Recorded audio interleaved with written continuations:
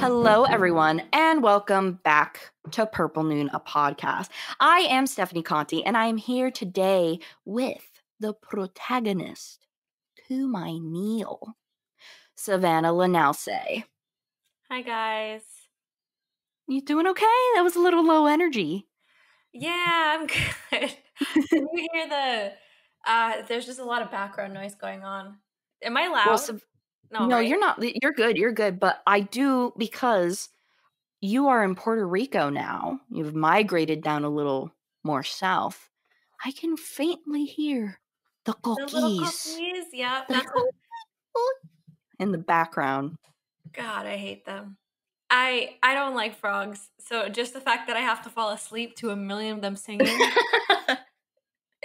I I will say I don't know if you've ever it used to be such a huge problem a few years ago and I think it's because they only come back like every 7 years or so or I could be wrong but cicadas I What- can't stand the sound of cicadas. what is that? Oh, they're it's such a it's so hard to describe. It's kind of like the cat like no, not caterpillar, the cricket version of a coquí. That's disgusting. but it's just I, there's something about it. It's one of those things where I haven't heard it in such a long time, but if I heard it, I'd be like, "Oh, the cicadas." I just don't like the, the noise of cicadas and stuff like that. I think Nature sounds like waterfalls and lightning Yeah. and things like that. Very nice, but the sounds of like bugs. just like No. animals in like unison.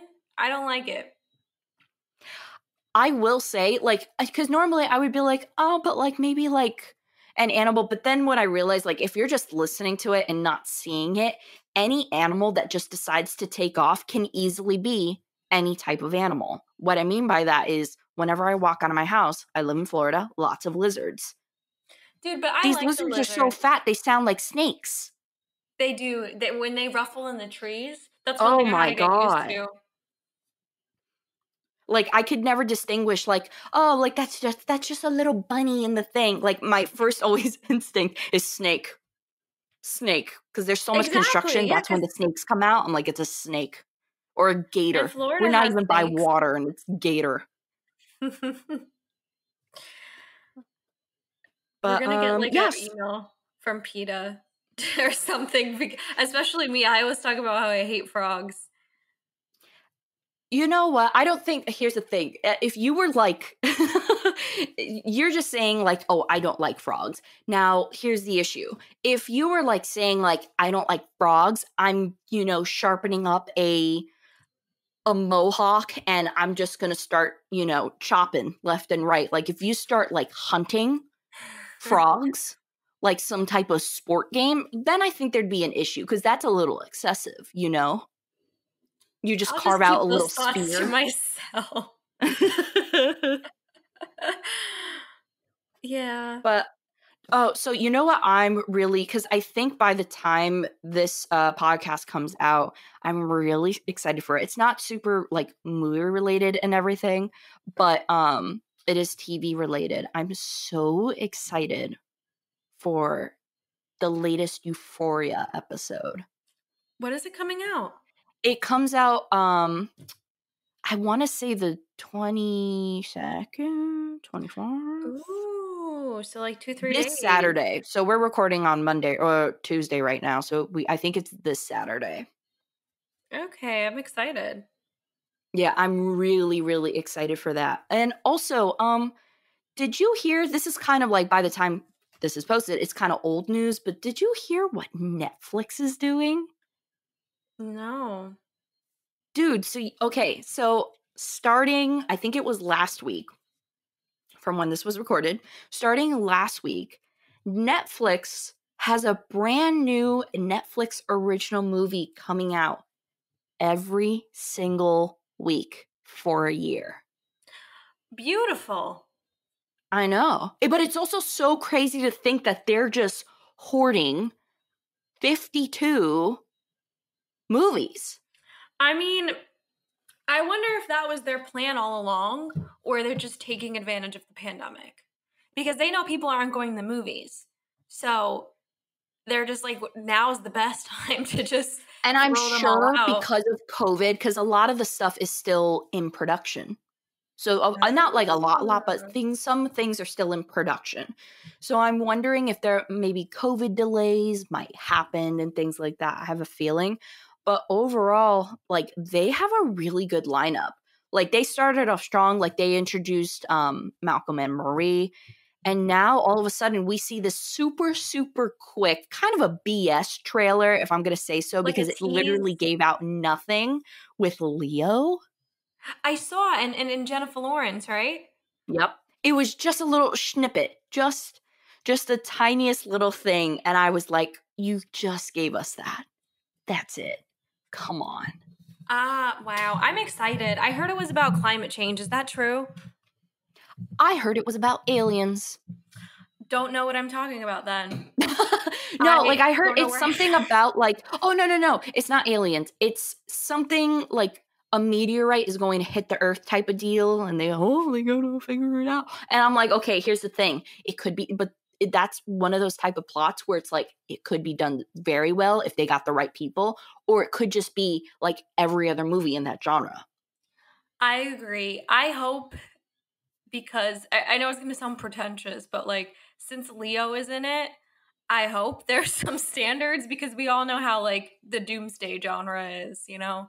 We don't want Armageddon or things like that. And I, I will say, like, let's be totally honest. It's been oh. a while since Leo has only done a okay film. Like Oh, that this man, dude, yeah. like he just he's just putting out bangers. So, I mean, I'm I'm trusting him at this point. I'm not trusting the director. I don't even know who the director is. I'm not trusting the director. I'm not trusting the writer. I'm not tru- trusting anyone except him because it's like, dude, you've been super selective. Yeah, he's been consistent. He's been very consistent. Like, and he's like the he seems like the type of actor who luckily can just do what he wants. And he also doesn't seem the type of actor to do things for money. Like every project that it seems like he's been on within like the past at least 5 years has been because he wanted to do it and not because he was bought into doing it. You know what I mean? Yeah, I agree. So uh, I'm looking forward to that. That's Mhm. gonna be good. I want to talk to you about the the the blasphemy you sent me on Twitter. Blasphemy? What? the, the Willy Wonka thing. Because Oh I yeah. was very So distraught when I saw that. Oh my god, yeah. So today they just announced that they're doing a Wonka prequel and they're eyeing at little Timothée Chalamet and everyone's favorite little little webbed boy, Tom Holland. Dude, what? You picked I, I also kind of like want to go like, hey, you do realize there's like other young male actors, right? That's what I'm like I saying. like I get it. They're talented. Don't get me wrong, but it's like dude, like l- l- us- both of them, eh, they can't be monopolizing the industry like this, you know? There's other people because they're around our age.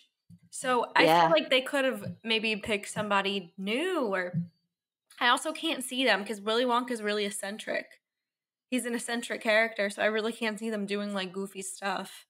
It's uh, you know what? And I'm just going to say it because I'm just going to say it. Willy Wonka should not be hot. I'm just going to put it out there. Like I don't want to see like a good-looking Wonka. Give me a weirdo. You know, give me just someone who's just like, "Oh, like he's the only like I I really want like just a a weird-looking Wonka." Yeah, I do too. I I mean, he could be charming because I feel like the first one was charming, but I don't think. First of all, the first one was like forty years old too.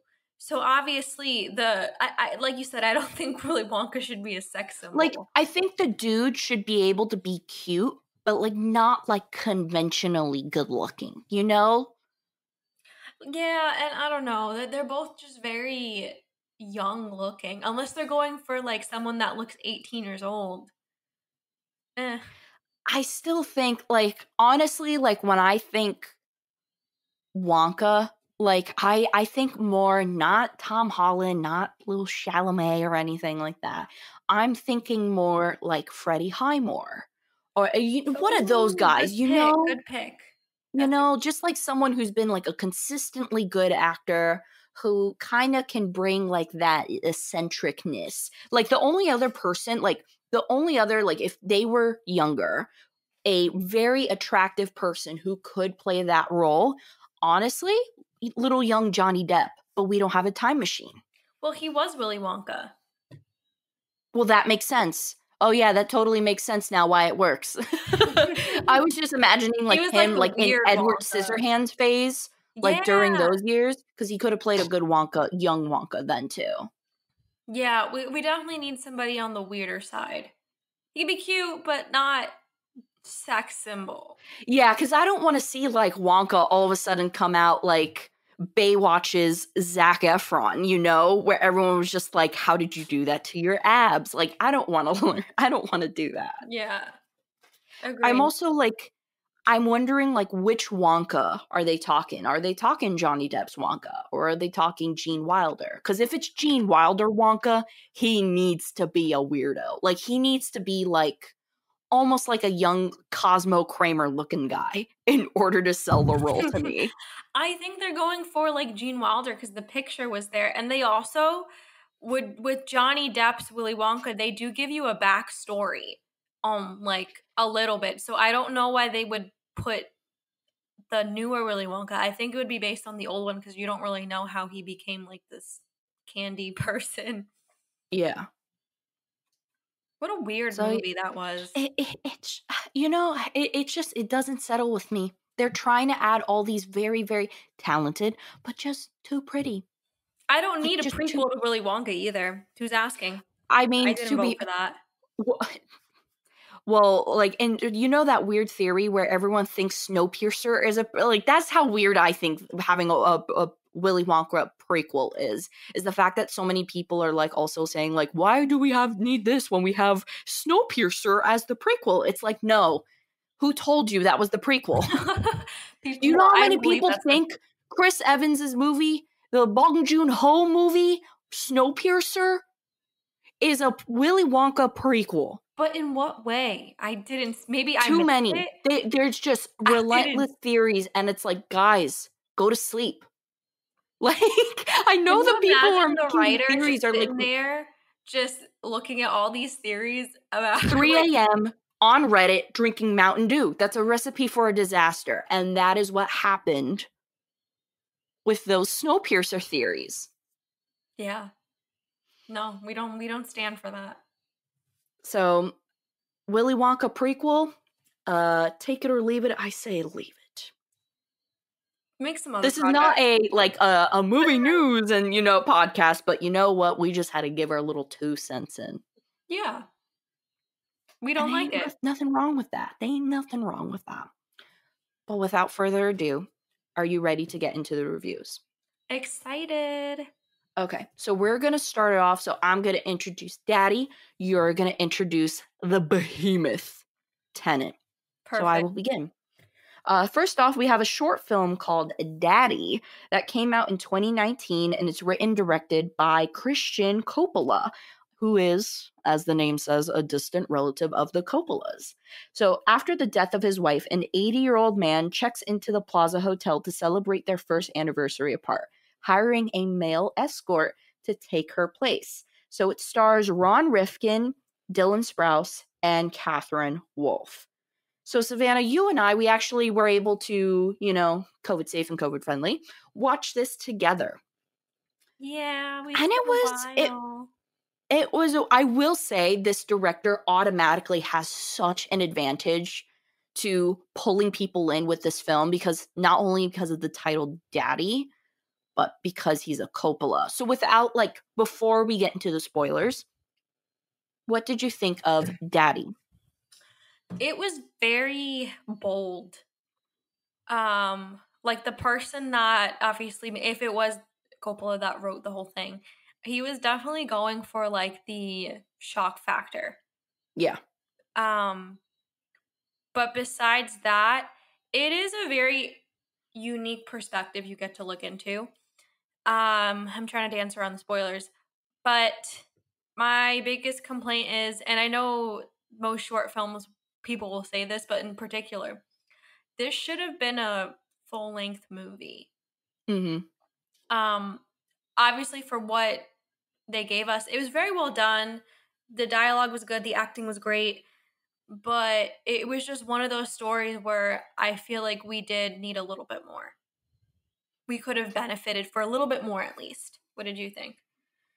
Yeah, like without jumping in, I thought, and I totally agree because I do like a short film format, but this was something where, in order for it to really pack a punch, in order for it to really be like, whoa, it needed the longevity, it needed the buildup. Um, it needed time for pretty much the audience to care about what was going on. Yeah. Um, not to say that it was powerless or anything, but I thought it was good. But I think personally it could have been better. I do recommend it. It's 20 minutes and it's on available on YouTube. Um, so now I I say I recommend it. Um, but now let's let's jump into the specifics of everything. Let's talk about the plot. I personally think that the plot is the strongest element Oh, to yeah. this. Yeah. So, Savanna, what did you what were your thoughts on the plot of this short film? Like I said, it's just very. He was definitely going for that wow factor and that like shock factor too, because I have, at least for me personally, have not seen a lot of movies that revolve around grief and prostitution, especially in um males.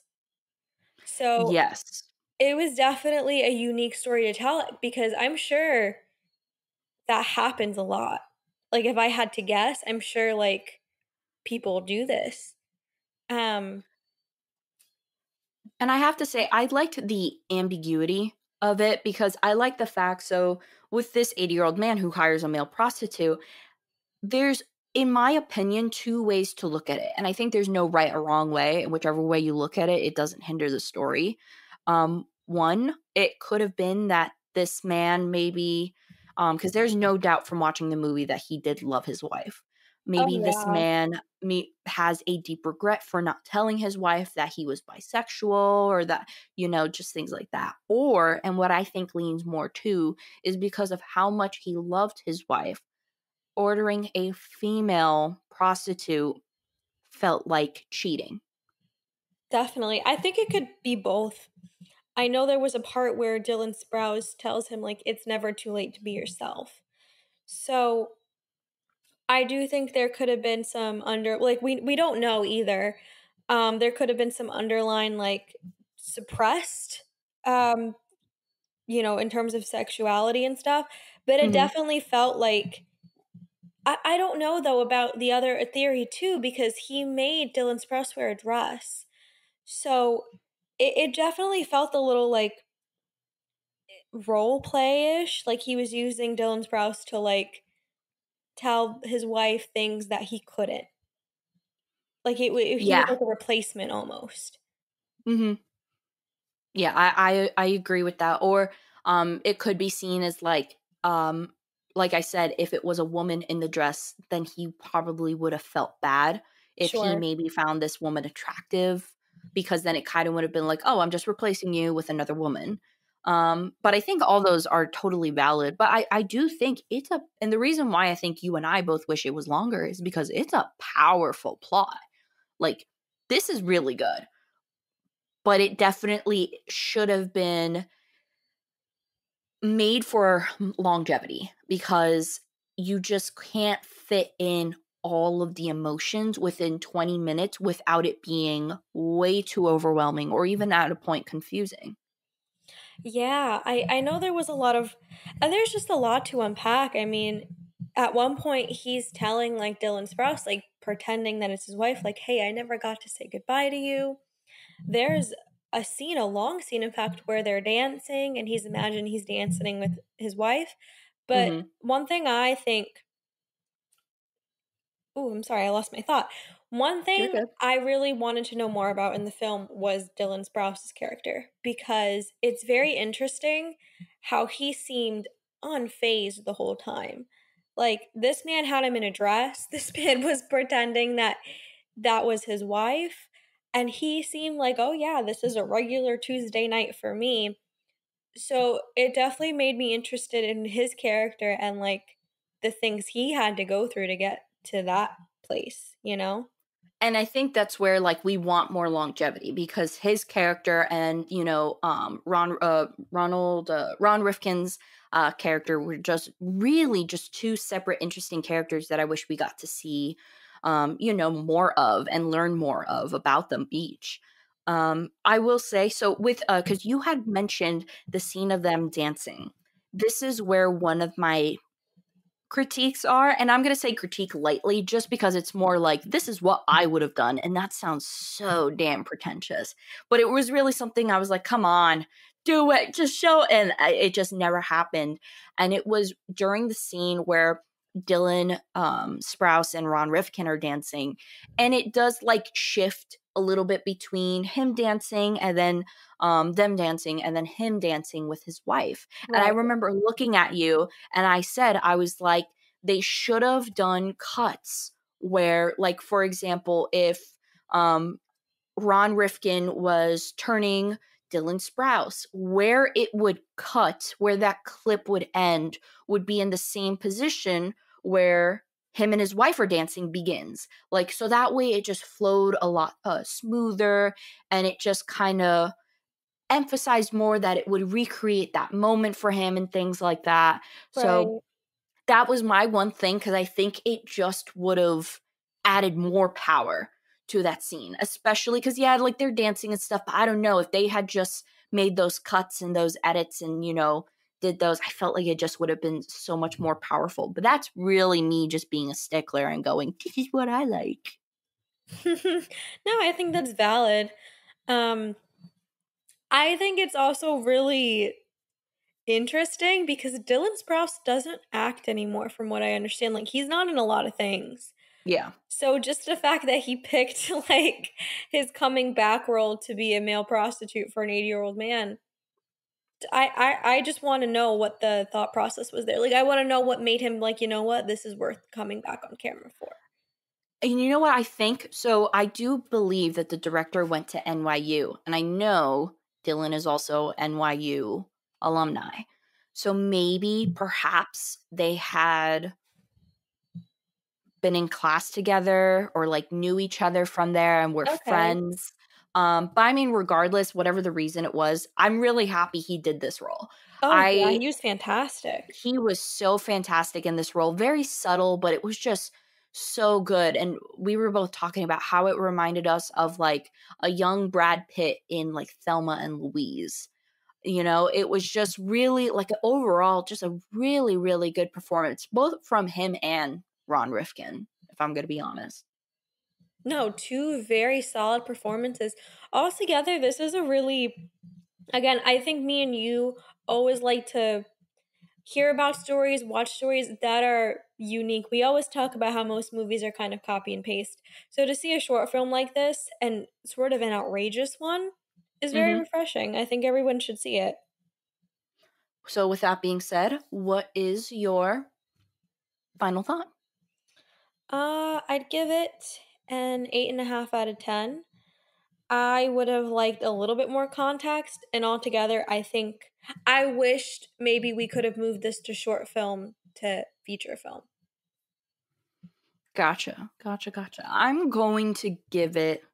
It'll be a little bit harsher. I think this is like one of the first times where we're a little bit more distant on the score. I'm feeling 7.2. Okay. I think it's good, but like I said, there's there's just a lot of things because short films are my thing. short structures are my thing. Of course. And I just I feel like it was a solid outline, but there was just some key points that were missing that could have made it feel more full in emotion than and for us to be like, you know what, it could have been a long film, but it was it's fine the way it is. Like we're kind of longing for that emotion and to know yeah. more information. And I think we should have been given a little bit more. I felt like a lot of time was not wasted, but was just focused too much on uh, the buildup of everything, you know?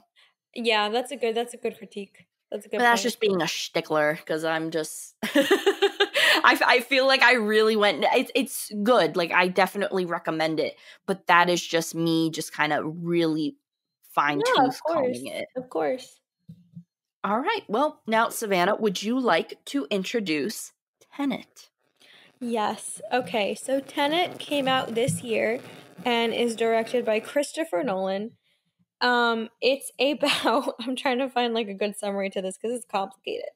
Mm-hmm. Um, so the IMDb summary is armed with only one word tenet and fighting for the survival of the entire world, a protagonist journeys through a twilight world of international espionage on a mission that will unfold in something beyond real time.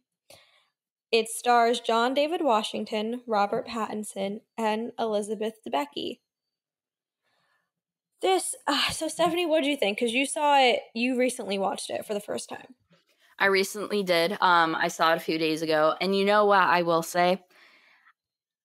Without spoiling, if you are looking for like a Chris Nolan banger, like Interstellar, Dark Knight, blah blah blah, all those, you're not gonna get a banger that big. This movie is great, but it is a different feel, I will say, than his other films. So if you're expecting like, you know, all this crazy action and stuff like that with the Hans Zimmer, da, da, da, all that stuff like that, I I just don't give your hopes up. I, and I think that sucks with directors like Nolan and Tarantino, with Scorsese. You always go in with high expectation because, like, not only is it just like, oh, they're a good director, like, you're like, no, Chris Nolan is one of the best directors. I feel like people were really harsh on this movie. I really liked it. I think it was brilliant, but compared to all his other films, it is flawed. Compared to something like Interstellar, oh, it is flawed. That doesn't mean I don't think it's an excellent film. But I think, Savanna, you kind of get what I'm feeling. So, without spoilers, how did you feel about Tenet? So I got a lot of heat for my opinion, but I totally agree with you. This movie, I, I if I had to put it in words, is more of a visual experience. Mm-hmm. Um, his special effects, a lot of the scenes in this movie are just amazing. It's the, the way he does things is fantastic. Plot wise, it has a good amount of flaws. Um, Mhm. like you were saying, it's it's a different movie from Interstellar. If you're looking for something, even I, the Batman series, um, it's how do I put this? It's very distant. It's Mhm. a very distant movie. And I think everyone should go into this kind of with the mindset of, okay, like, this is going to be a visual experience. And I'm going to learn something new about, like, the world of time traveling, that genre. But if you're looking for a movie where you can connect with the characters and even the plot, I I would say this isn't it.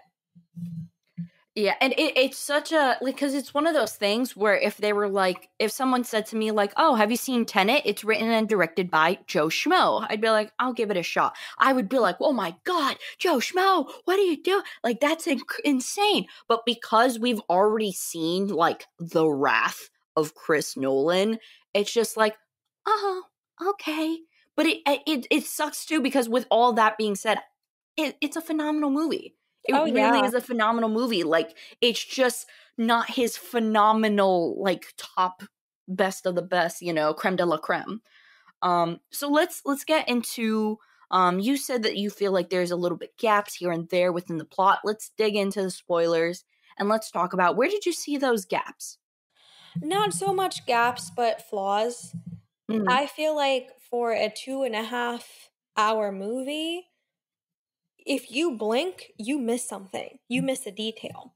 Yep. The movie is so incredibly fast that you have to grasp a concept at a just, in my opinion, unattainable reach the first time. I've seen this movie three times, Mhm. and each time I understand it better, but I think it's okay to have your audience work a little bit to think. I think that's one of the main reasons why people are fans of Chris Nolan because you come out and you're talking about it. But this movie is so complicated just Mhm. to say at the least, with the whole time travel, the whole Tenet thing. And apparently, we can get into this later, but there is like this underlying meaning from what I hear about faith. So to to have your audience grasp three or four concepts with this incredibly fast movie. And again, it's two and a half hours, so it's not like he really crammed it in at an hour and a half Mhm. in my opinion, is a bit of a flaw. I think Tenet, and I know Chris Nolan doesn't do TV or whatever, I think Tenet could have really benefit either from having 45 minutes more in the movie or even being a short, a limited series because of how Yeah, information it is just a lot to unpack. And like at first, I was like, man, two and a half hours. Two and a half hours never felt so quick because of how Right. like lasered in focus you have to be um into this movie. Some people like that, some people don't. Um I really like the plot, but I'm also someone who I was able to get it the first time. At least I think I got it. Um I was able to get it the first time and understand how it works. And I know that I got lucky because, like, Inception, I had to watch three times. Like, I've had to go back. So I got just lucky with this one. I probably because I didn't have my phone on me. I was just lasered in on the, you know, my screen and things like that. But it's a lot to unpack. Like, this idea even like just introducing the concept uh concept of entropy and things like that adding in you know basic science and then breaking it apart and then break it's almost like you're taking like an uh, like a sphere of ice and you're just hammering it down until it's just nothing but little little tiny water droplets all over the place. It just took like entropy and then just like really just spread it all out I liked that about it, but I'm also someone that learned entropy in physics. And I know not everyone was able to have that experience, you know, prior before going into learning about the movie. Um, so can you and me now discuss because now we're get, we're full in spoilers. Let can we discuss our opinion on how we think this whole Tenet thing and the entropy thing works. I would like to discuss that with you. Uh, sure, I'll try. So when you have the reversal and kind of kind of like time traveling, like how would you explain that in your own words? Like what did you interpret from the movie? What was going on? Like how t- the time travel thing worked. Yep. Well, it's the whole um, like your your inverse, right? It's that Yes. theory where you're going, yeah. So basically, I'm gonna try to explain it because again, for me, it was very complicated.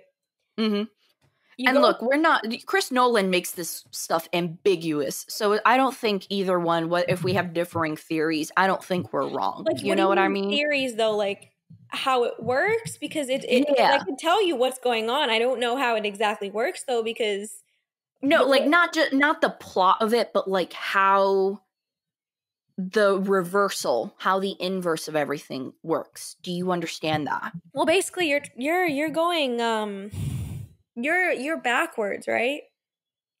Yes. So much, yeah. essentially what I believe is this whole entropy thing. I'm a little science geek, so I like talking about stuff like this. Um basically what my belief is with all these reversed entropy uh, uh, enthalpies. uh, I think the best way that I saw it explained or ever heard about entropy is for example, you can put a banana in the fridge and it will slow down the process. But when you put a banana in the fridge, let's say it's like almost ripe. When you go back into the fridge after two weeks, you don't expect the banana to be fresher. And that's kind of how inversing the entropy works. And that's how also reversing the entropy of everything would ultimately kill everyone because everyone would be going back and reversing every single thing that they did. So that means people would become younger until, you know, they're little babies and stuff like that. Like that's how that stuff would work. Um, that's how why it was so important. You know, that's why they couldn't let the thing happen because everything would just go back to square one, essentially, if the entire world was Right, that was the goal. Yes. so when they went into um this i'll call it like a little house of mirrors i think they call it like what the the tell uh, tell uh it was like the tumbler or something like that where they The went in time machine thing. Yeah. yeah, the time machine thing. So it wasn't really a time machine because they wouldn't go back in time. I guess the the best thing to say is where these places were, you were you would not just go in and come out. You would go in and you would change your position. So for example, if um oh so let's say with those bananas and everything in the fridge if those bananas were um you know getting younger and younger and stuff and this is i'm not a physicist this is just a botched way of explaining it if those bananas and everything were getting younger and younger if for some reason the entropy of that thing just shifted to the left you now have Right. two different entropies you have a left banana and a centered banana so that's how that worked. So it kind of formed like a U shape whenever they went in and out because they would come back out in a varying position on the other side. And that's how it allowed two existing entropies uh, uh, to exist at once. At least that's what I believe it to be. Um, but where it gets confusing though is when they start like inversing the inverses and stuff like that. And I'm like, what? like, really? You're gonna go in this deep? I also didn't understand. Like after a while, I got the inverse thing. I also didn't understand how Neil was here because Neil wasn't from that timeline. hmm So I was confused. Like I, I assume. So he comes from the the future. No, he comes from the future, right? No, he said he wasn't from the future. You see, I'm still trying to figure it out. No, He's so are you talking about like with the ending essentially? No, no, I know what happens at the end. I just didn't understand because I know again, we're getting into spoils here, but Neil's character in particular, I know he was hired by the protagonist. Yes. So I didn't know when he was hired by the protagonist. I'm assuming it's in the future, correct? Uh, I w- uh, actually I would think it would be when the protagonist went back in the past. So Neil's from the past. Yes. Yes, I think so. When we first introduced Neil, I think he was meant to be in that timeline. That's his correct timeline where he is introduced. It's the protagonist, John uh, David Washington's character, who I think was already looped in. Okay. And the reason why, because so uh, Neil gets inversed. Um, he has different inverses. So there's oh, an inverse version of Neil that dies in um, Yeah, yeah, I know. the the thing where it, when it all happened and everything like that. Um, but there's also a part. There's also moments where um, I and I think the best thing is is like in the in the beginning, like remember the the CIA pills. Yeah, yeah, yeah.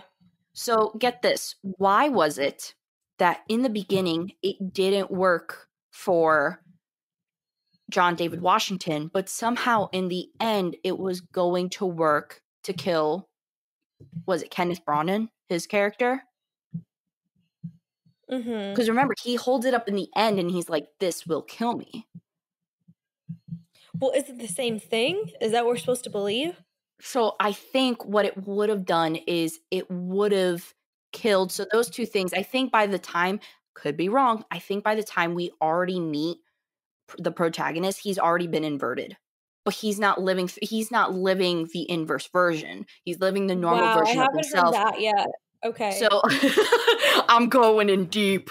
Um, but because that's how he's able to get the message, because then he realizes, like, oh, so I'm the one. Because in the end, he realizes, oh, I have to go back and send this to myself and tell myself, because he was like, because he realizes when he's talking to the the woman, I forgot her name, uh, Sanjay's wife, I believe it was. Um, sh- he goes, I was never working for you. I was working Yeah, for yeah. me the entire it- time. Right. So then what happens from that point? He has to go back And so what does he do? He goes back and he gives himself the mission. And I think what was able to bring him to that miss- mission was giving him that pill. And I think by already at that time he had been inverted. Because remember, we see the inverted bullets in the the concert scene. Yes, yes, yes. But we don't ever see the guy who shot them. Do you think maybe maybe that guy could have been John David Washington's character? The beginning in general is very like it, it's very because we don't know why he's there. Number one, why Yeah. was he there? You He's know what I mean? We don't know.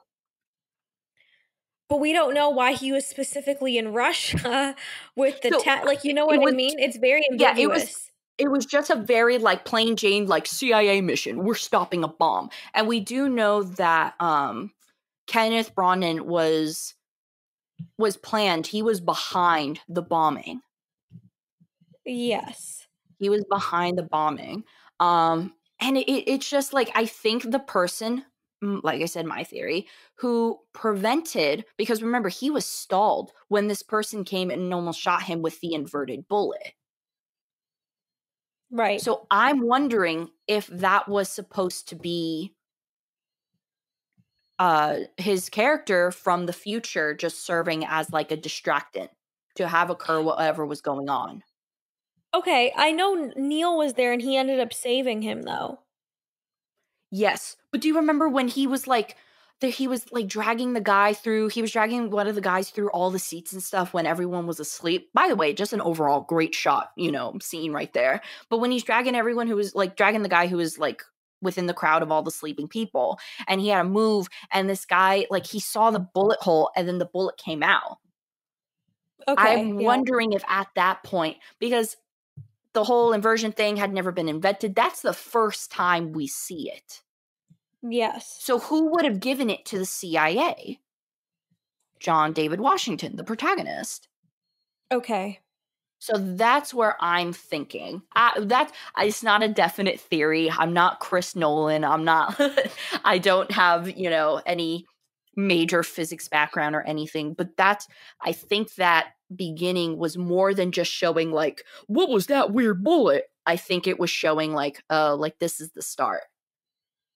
Okay. Oof. Again, for me, it's a okay. Maybe other people got it as fast as you did, and maybe I'm just like struggling. But to me, I don't know. I I think I think if I'm still trying to figure out a movie a month later, it's a little bit of an issue. And again, this I mean- could be me.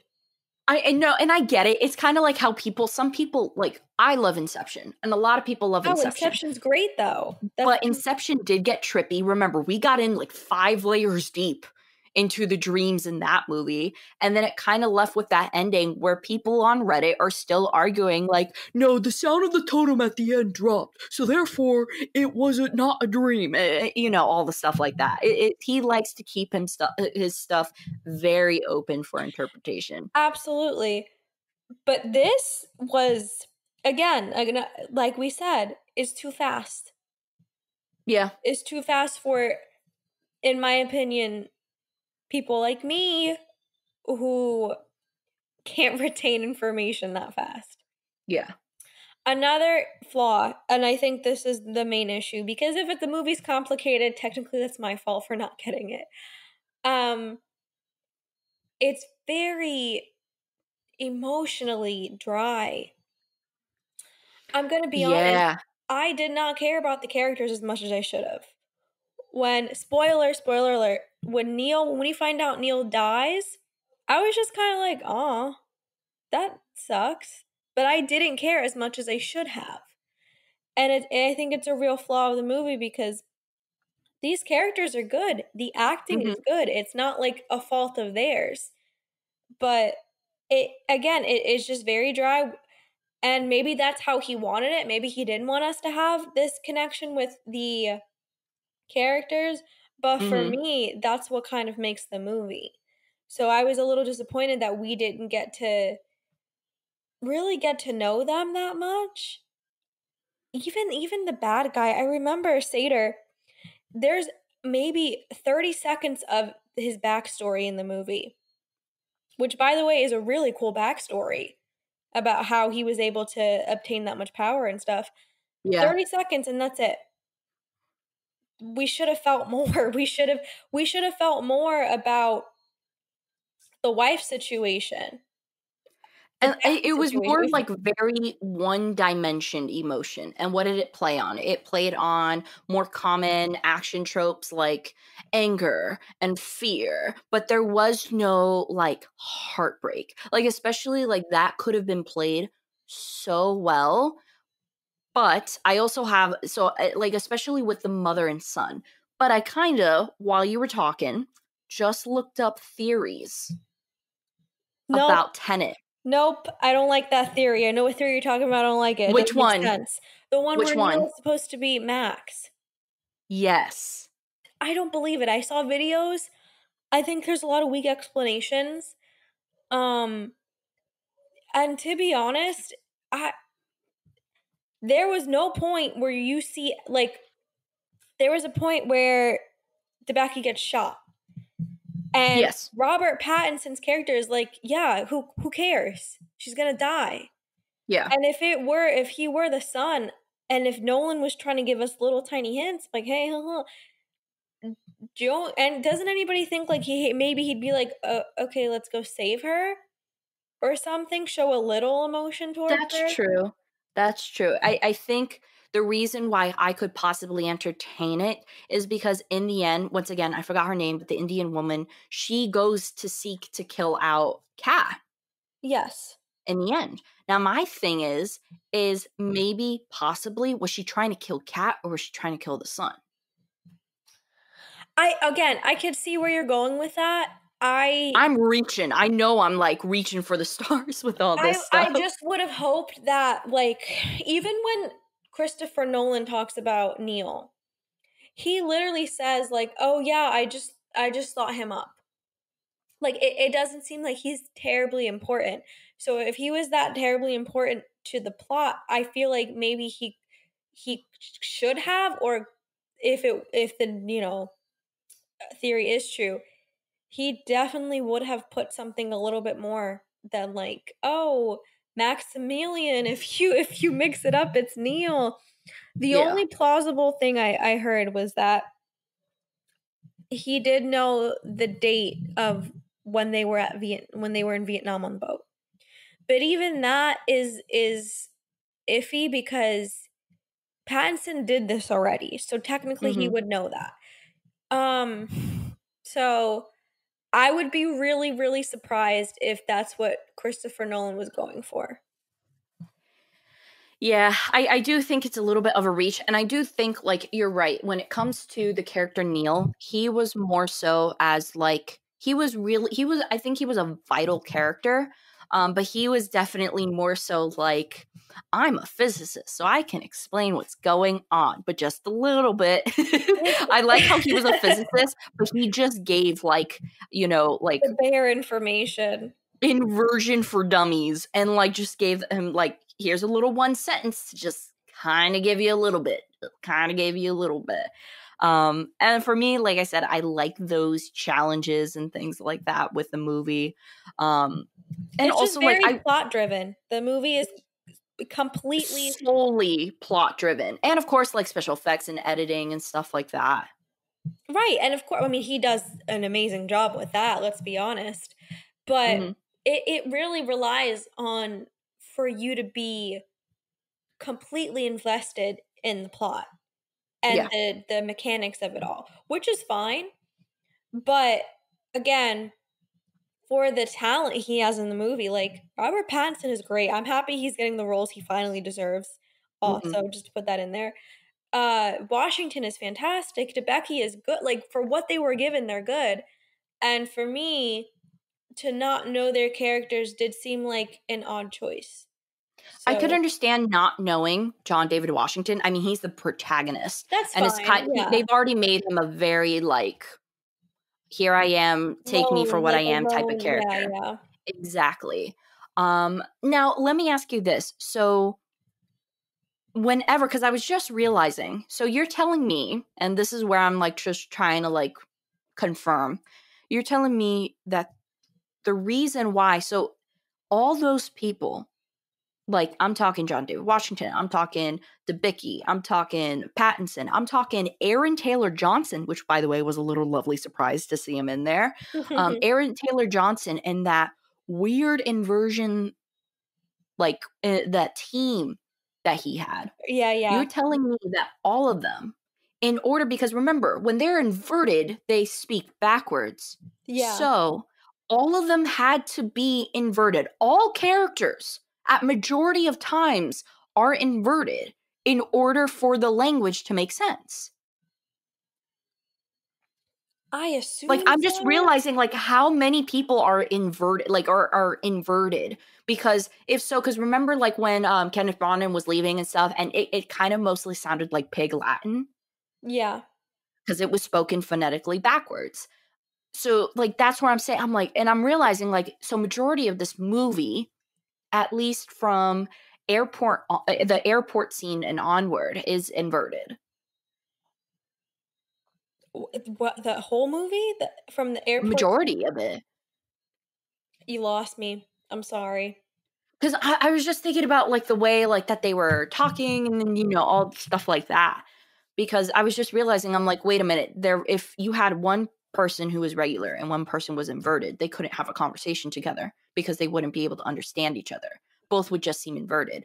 Oh my god wait so wait hold on hold on i'm at a theory here. So wait when okay so like for example when elizabeth debicki kenneth branagh are on the one side and they're speaking in inversion and then we understand though what John David Washington's character is saying.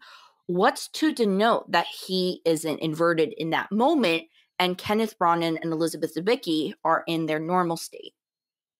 That's I that's beyond me. I can't even like I'm still trying to fully understand the inversion and what went on with the with, and and you're over here on a different planet than me. Dude, I'm Sorry. so sorry. I should have came more prepared. I thought I no, got it, it, it, it was just something like, that like just came to me because I was like, what if maybe like from the get go we've been inverted and every time we think we're inverting, we're just going the regular way we're supposed to go. I'm doing for I'm just having stoner thoughts and I'm completely sober. Like I just I'm just bouncing off stuff like that because I think that would be pretty crazy. dude it's you know um i also wanted to say something about the score of the movie because i think we both kind of have the same feelings about it Mhm. it's good I, i'm never gonna say it's not A, it's good it's really good but it again lacks when you listen to his other scores interstellar inception even the batman series you can pinpoint what you're thinking about from the movie and how it made you feel. Immediately, Yeah. when I think Interstellar, I think of the bookcase, or I think of when he's crying with his kids. Inception, like there's just immediately when you think of those movies, you think of how it made you feel it, when you're watching the movie. This one is just very how mechanical. It's impressive, Yeah. but I'm not going to listen to it and have a, con- a tie with the movie. I'm just going to think, oh, cool, like Tenet. And I can see that. And so, but here's why I bounce with the Tenet soundtrack. It wasn't a Hans Zimmer score. We love Hans Zimmer and But do everything. you think it's like the best? Because that's what I'm seeing is up for debate right now. No, but I do think it's incredibly smart. And here's why because the scores themselves are inverted Oh, no, I know. when I they go through in and out. But remember, if you had a huge orchestral piece and if you reversed it, it's going to sound like doo doo. It's kind of like, you know, like when people play, like they do the record scratching and then all of a sudden they're like, the devil is near, is like all you hear is like, like when you play a record backwards. Okay, That's yeah. what it would sound like. It would not sound nor it we would if honestly like if they had done it like that, we would have been like, yo, is is Hans Zimmer okay? Like No, because it would have just like, sounded he couldn't do the same thing. And it, it's very impressive what he did. But because, again, I think it's a little bit more forgettable in a way.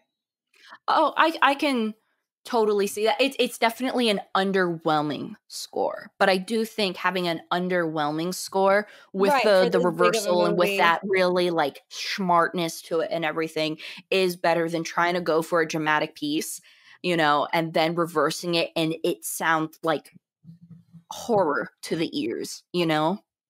Oh yeah. I I think he didn't have I yeah, I I see what you're saying. Um but what do you feel like here's a question. Tenet Mhm.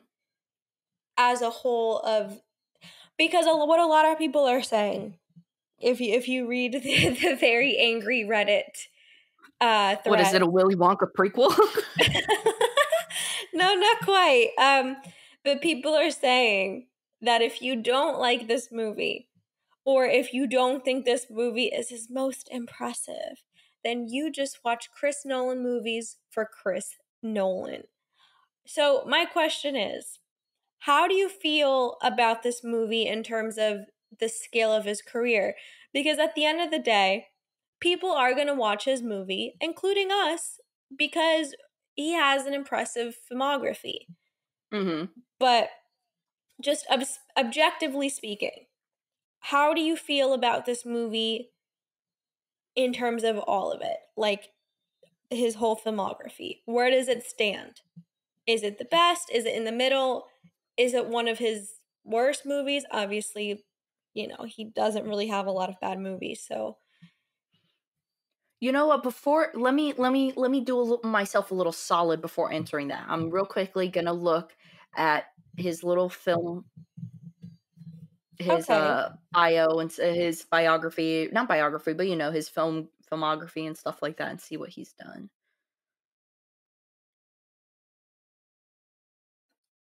Honestly, I can see why it. I can uh, when you see because like when you really think about Nolan films, they're all bangers. I looking at this could totally see personally for me, it's not at the bottom. It's like middle, but I could totally see. "Ah, you know what? I think I might like it more than I'm admitting. I could see why people put it at the bottom, but I give your honest would- opinion here. for me it would be in my top five and the reason why and that might be like ah, like for me this is a movie no. would because sometimes i ju- like in terms of movies and things like that you have obviously awesome movies like dark knight batman begins and you know the, the dark knight series you have things like dunkirk interstellar and they're all very different in their own way but they're all very similar in their own way. They all have that chris nolan feel. I like this movie because I feel like it shows more like oh like not only is Chris Nolan just a great writer but I just feel like I don't know like it, I just feel like it's a little bit more diverse to his palette. Like I think Interstellar like really showed off like Sure. his talent. Um but I do think doing a movie like this because it's hard with Dark Knight and things like that because people do superhero films all the time. This is like exception. I would put it in the same rank as Inception because it's an original idea that no one has gone near except him. You know, this is this is his ground and I think I like it. I like it. I can see and why I it's was gonna say, people. this this is in my top five too. I know I'm talking a lot about how it's complicated and how um emotionally distant, but I'm not watching it.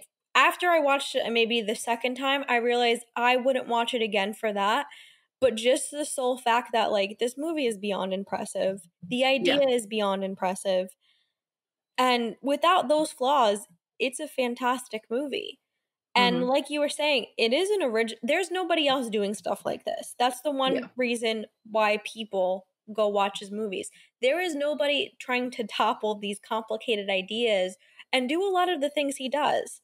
Mm-hmm. So in that regard, like absolutely, this is top five. It might be number five for me, Mm-hmm. but again, like he doesn't make bad movies.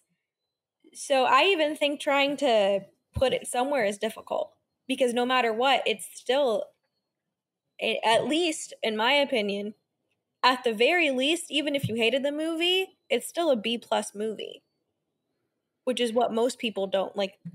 Just that in itself is fantastic. Yeah, and and sadly, like I I hate to say it, but like especially with Chris Nolan films, there's always going to be like this stereotype of snobbiness. Like, oh, Oh, the I, pretentiousness. Oh, I the watch Chris NYU.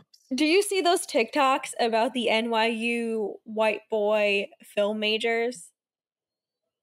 Oh yeah, yeah. Where it's like, oh, like I'm, I'm a, I'm, I'm a, I'm not a director. I'm a filmmaker, and then you just see like a Pinterest style board, and it's like Tarantino, Chris Nolan, and that's it, or Scorsese, and just like all the people that everyone already knows about. Exactly. Um, so there I can understand why people accuse other people of being pretentious or just see anybody that goes religiously sees his film as being pretentious. But it's hard because he does make good movies. I think we Yeah, can and- like and- him and just like address that there are other people that are good too. Of course. And I think it's one of those things too where the reason why I like this film is because, yeah, I do agree with you. I think there are flaws in it, but I'm happy he finally made a freaking flawed movie. Like, bring down the king and let me have a shot at it, you know? You like it so much. No, I also think it's a really good because here's the thing, and this is how I look at it from a director standpoint. When you just keep making bangers, it's going to get boring and you're never going to learn how to create something new. You're just going to spoon feed everyone the same stuff over and over again, and your mistakes are going to be repeated. Like or uh, uh, your your your what you're good at, your strengths are just going to be repeated over and over again. Sometimes it's good, sometimes like if this was more so like more Dark Knight stereotypic and stuff like that, That people would love it and people would think it would great. But there's no room for him to learn as a director. With a movie like this, with the criticism and everything, there's room for him to learn as a director. There's That's room for him to point. wor- learn as a writer. And it's weird where it's like, I, it's weird for me saying, like, someone with no Oscar nominations, no feature film movies done, to be like, Chris, Chris Nolan, you need to be humbled. We have some bit." notes for you. Yeah, I get what you're saying. but I do think, and that's where snobbiness comes in and stuff like that. But that's where I think this is good. I think people are upset. It's kind of like, you know, the God didn't give another godly work. It's just kind of like the God gave like a good work, but it wasn't godly, and everyone is like losing their heads over it. Meanwhile, know it's like no, can- like Yeah. You know where we could draw a parallel to? what? Sort of like The Irishman with Martin Scorsese. It was a good movie, but it wasn't good It wasn't his best. It wasn't his best. And it's because he's following his safe pattern. He's following that pattern that everyone loves and knows him for. And when you do that, eventually people are going to go, dude, I'm tired of seeing The Godfather four times, but in different movies with different names. Exactly. Or Goodfellas. I meant to say Goodfellas, not Godfather. No, no, But- exactly. And I think I like you said, it's it's kind of good that he went with a different element because even if there were flaws, dude, it's still a banger. You could still watch that. like, Yeah. wow, like that was. It's really like how I feel with some like and I've told you before with like Scorsese, some early 2090 Scorsese stuff except for Goodfellas doesn't sit right with me. It just uh, like the whole like age of innocence, man in the iron mask and all stuff like that just doesn't jive with me. But you know what? Those were areas where um Scorsese got to make mistakes and everything like that. And then what happened? He produced great movies. He produced Shutter Island, which people be sleeping on Shutter Island. Shutter but- great. Shutter Island, Silence, Hugo, things that he was totally not known for. And sadly, it kind of went into like the everyone was just kind of like, what happened to the gangster films? And then he finally wrote The Irishman, which I like I said, The Irishman is a good film. just not It's a very good movie special. but it just kind of felt like his safe zone. I do think this was a little bit of his safe zone, Chris Nolan, but I'm hoping he can definitely try something different. Like I would definitely like he's explored themes of love and things like that. I would really love to see a more solid romance film from him or oh, even Oh, a more solid crime film from him. Please. You know, one of my favorite directors, Richard Linklater, the Mhm. one that did the four trilogy and uh, And then boyhood. yes. And people argue that a lot of his films follow the same pattern. Like let's let's be honest, he does the whole time period pieces. Even Dazed and Confused could be looked at as like okay, like that's like a time thing. Yeah.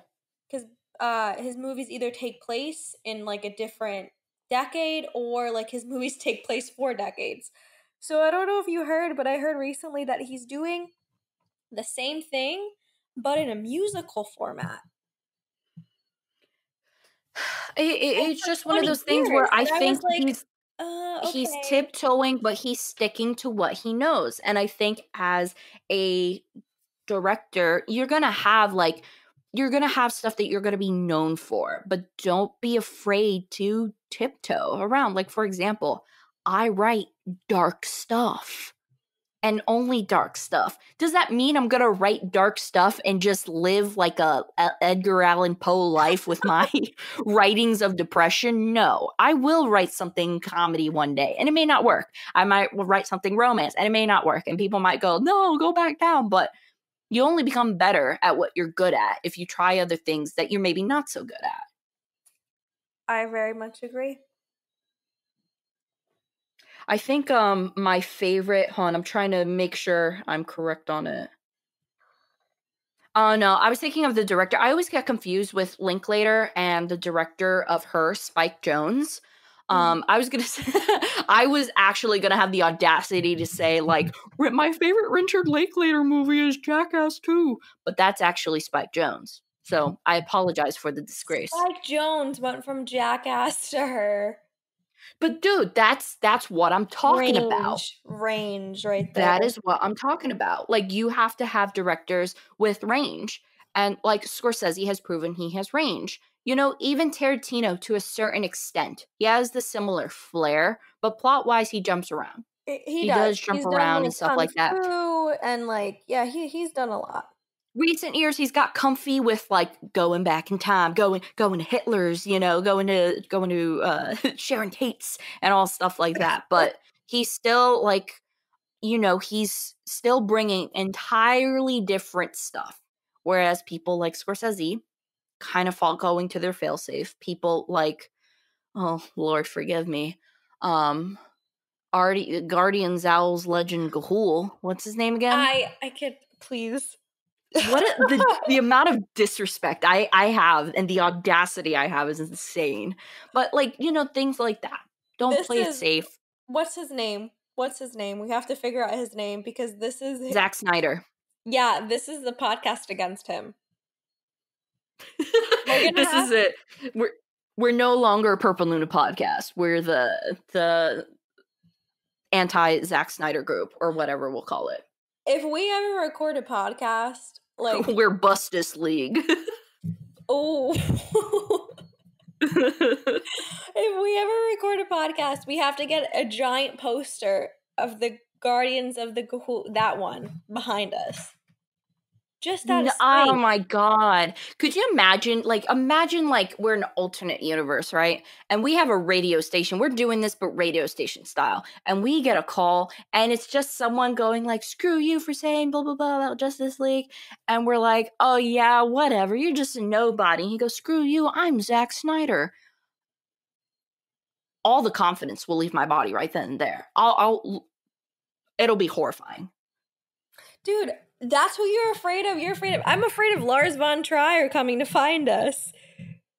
That's my fear. You know I can what? take. I can take Snyder, the Guardians of the Ga'Hoole. I'm not scared of Guardians of the Ga'Hoole Owl guy. I'm a little bit more intimidated by Lars von Trier. But okay, here's the thing. I feel like he would be the type of guy, Lars von Trier, to look at you and and like he, he would just diss you. He would just not like what you have said or anything. He would just go up to you and it would totally be unprovoked. You'd be like, "Hi, nice to meet you," and he would just look at you and be like, I don't like your bangs. And would just just try to destroy you in that moment. And then he I feel like he would look at me and be, be like, yo, Vid, like that. but wouldn't talk to me a lot, you know? I would always be like on the fence with him. I'd be like, I don't know if you like me, sir. You just kind of said that you like that I'm weird, but I don't know if you have respect for me. So that's how I feel what would happen if fine. we met I Lars can- von Trier. If, if, if that's all it is, I I didn't mean to attack your bangs. I love your bangs. I just feel like he would sort he would go He would that just low. find something, of course. No, I, I I've dissed him on this podcast. You know what though? He's a good director. There you go. He's very talented. He just scares me a little bit. But there's And also like someone his who kind of he kind of plays it safe. You know, he just does with the the same like you never know like have you noticed like with Lars there's never like oh there's a cheeky little film by Lars out right now. It's a little fun little thing. No, all of this stuff is like going to scar you. You're going to have to sleep on it for 3 days. Yeah. you know you're Yeah. gonna have to call up your psychiatrist and be like it's been a bad day uh, it, like it, it- like but that's yes. that's a theme that's a theme Yes. Exactly. You wouldn't I I don't think in our lifetime we would see like a comedy by Von Trier. it wouldn't be funny that's for sure like it's a comedy and then we'd watch it and we'd be like you sure I feel like he can be funny though because of the Jack like that movie, uh, the house that Jack built. It was they had some funny scenes. It was dark humor. It was very bleak.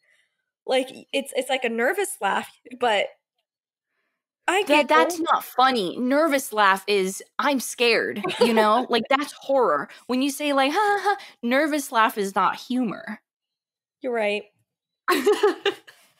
just because you laugh that doesn't mean that's the correct reaction for what you saw in that movie You're right. You're right. Um, but as we were saying, definitely credit to Christopher Nolan for doing something different. credit to chris nolan for humbling yourself oh God, Stephanie, we're gonna make enemies on this podcast. no i love chris nolan i Love love it i think I I also don't think Chris Nolan. He doesn't strike me as the type of director where he would be like, "Who who are you?" Like he would he would be like, "Oh, like he doesn't seem like the person where if we were like, hey, wasn't your best, but hoped it humbled you a little bit." I don't think he would be like, "Um, I'm sorry, what's your name? Never heard of it. Goodbye." Like I don't think he would be like that. No, but I think he'd be chill about it. I think he'd be like, huh, that's what the critics say. he seems like a nice guy. I hope that's true. I hope that's true too. But what is your final score on Tenet? Okay. This is really hard. But I am going to give it a 9 out of 10. Because other than the few flaws, and the flaws, you know, I, I think, like you said, it, it's definitely something you see in the movie. It's definitely something I noticed and was a little disappointed by. But the movie itself is fantastic. There's a lot to look forward to, there's a lot to see. And you're still going to come out, like, in my opinion, just very And excited. From I you will say for a two and a half hour movie, the it, it's Wait. so impressive the rewatchability of it. Oh, I'm gonna watch that movie. I know ten more times. Absolutely. You're you're. This is a movie you're gonna want to see a lot, and the movie is pretty versatile in the sense of like you could watch it by yourself. It it can be a good um movie night if everybody's paying attention. Um, you could watch it on the plane. Like i in my opinion, there's a lot of settings where you can watch this movie. So and and watch it a bunch of times. So because of that, I'm gonna give it a nine out of ten even with the flaws, it's still a banger. I recommend it highly. What do you give it, Steph? I'm I'm right there with you. I'm gonna give it a nine out of ten as well. Um, and, and for me, it really like that because yes, it is flawed, but it's flawed for Chris Nolan. It's not flawed in terms of as a movie and stuff like that. It's a great it's a great movie, and we just went at it with a fine tooth comb and everything like it because we we know what to expect from that director. Yeah. And some expectations did fall short because we know his strengths and weaknesses. And in this one, you know, he just didn't play up his strengths as much as he should have. But it's still, with all that being said, it sounds like we're just putting a nail in his coffin, but no, like that we're praising him. He's a fantastic director. And this movie is solid. And I think also it's so one of the best things about Chris Nolan films is the rewatchability of it. Like Yeah. I could see Inception and Interstellar and even like my lesser favorites like the some of the uh, Dark Knight series, like some of those films and stuff like that. I could rewatch those over and over and over again. And not that can't be said with every director. Like I there's some obviously directors out there like Tarantino, blah blah blah, the list goes on.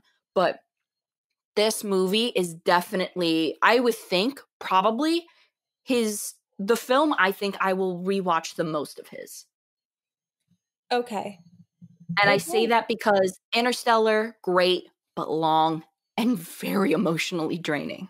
It is true. You know, same with Inception and and even the, some of the Dark Knight movies. They're they're just a like little too long. They're just at that like three hour mark where it's like it, it's beyond that re that for me that threshold of like can I just sit down and watch this at no, any time? absolutely, absolutely. Do you But like this movie- Prestige?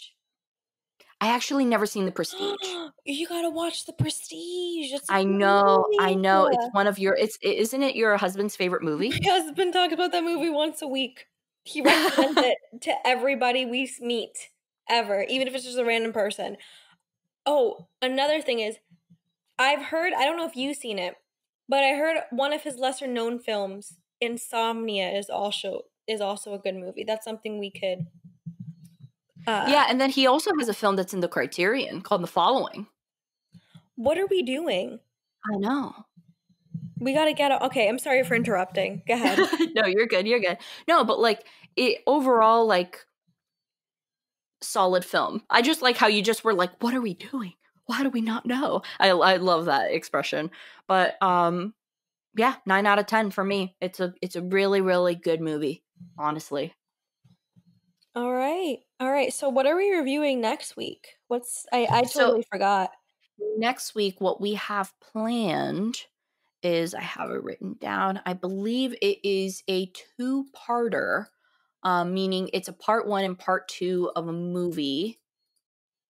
Oh my god, where did it go? You can hear me clicking because I'm looking for the file on my computer. It was one of those things where I was like, "Don't forget to remember to plug in the next movie," and I totally forgot to look at the thing. Um, let's see.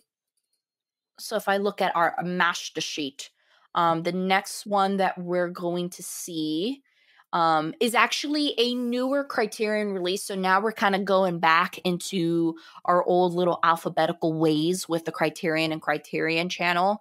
Um, and we're going to kind of go in blind with a movie called Five by Two. However, for some reason, if that doesn't work out, the next one is going because I, like I said, that's just pulling it from the list. It might be a short film. I got to look into it.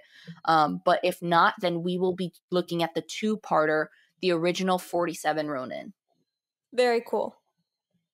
I'm So, yeah. excited. So thank you guys so so much for listening. Um, as always, thank you Sensei David, Homeboy James, and if you would like a shout out, please definitely check out our um Patreon down below. You can get a shout out for as little as a dollar a month. And speaking of um dollars, if you have another dollar, you know that you just want to get rid of and send to the wind, um sorry that was an awful like that was like the worst like broadway style voice i've ever done but i wrote a new short story and it is called decay. And when i mean short i mean like less than 10 pages short hence why it's a dollar on amazon. Um, but definitely check it out. Um, the money does go help into funding purple noon and things like that. Um, Yes, so yes, yeah yes. be sure to check it out. It's a little experimental piece i wrote available on amazon now. Decay by stephanie conti. Oh, check it out, guys. It's fantastic. thank you. Um, and with that being said, we thank you so much for listening, and we'll see you next time. Bye. Bye.